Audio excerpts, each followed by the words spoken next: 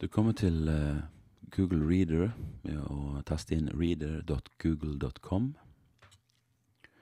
Og fylle inn eh, detaljene på Google-kontoen din hvis du har en sånn konto. Hvis ikke, så skal vi vise hvordan du kan lage deg en sånn konto. Klikk på sign in, og så er du inne i Google Reader.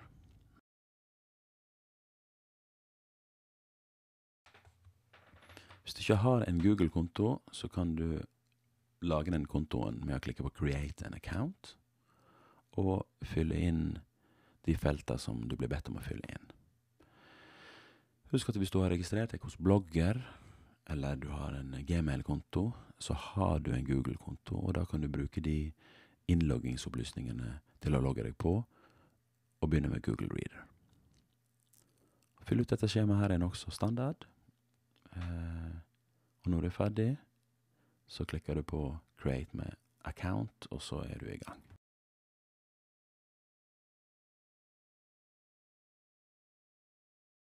Begynner med å legge til abonnement med å klikke på 'add a subscription'. Skriv inn en nettadresse til ei avis. Klikk på 'add'. Så gir avisa deg eh, valget mellom de ulike RSS-matingene den avisa har. Det kan være til sportssider, det kan være til overskrifter osv. Her velger jeg eh, forsiden. Og i venstremenyen ser du nå at Aftenpostens nettutgave, forsiden, har lagt seg til. Jeg ser overskrifta og en ingress. Hvis jeg vil se dette i en mer komprimert form, klikker jeg på list. Og jeg får da en listevisning med de uleste artiklene, altså de jeg ikke har lest, som eh, bold. Og jeg klikker på lenker for å komme inn i artikkelen. Jeg kan legge til en, et abonnement til. Aftenbladet.no.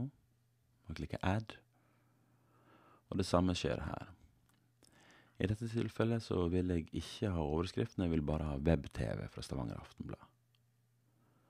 Og i venstre menyen legger det seg til. Og det har lagt seg til som en liste siden jeg valgte det i stad. Og de øverste med bold er de artiklene jeg ikke har lest. Helt nederst så kan jeg gå på Manage subscriptions. Og så kan jeg velge å legge disse abonnementene til i egne mapper for å organisere det bedre. Nå lager jeg en mappe som heter Norske nyheter, og legger både Aftenposten og Stavanger Aftenblad i Norske nyheter. Og i venstre menyen har nå de abonnementene lagt seg i en mappe som heter Norske nyheter. Sånn kan jeg organisere abonnementene mine.